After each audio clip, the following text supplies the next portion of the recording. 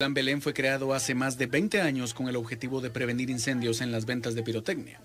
Personal de 15 organizaciones de apoyo humanitario participan en las distintas inspecciones requeridas por el plan, entre las que se menciona Policía Nacional Civil, bomberos, municipalidades, ejército, Conred y por supuesto DIACO. El plan había quedado suspendido temporalmente por las emergencias generadas por los fenómenos tropicales ETA e IOTA. Sin embargo, el mismo se reanudará a partir del 1 de diciembre.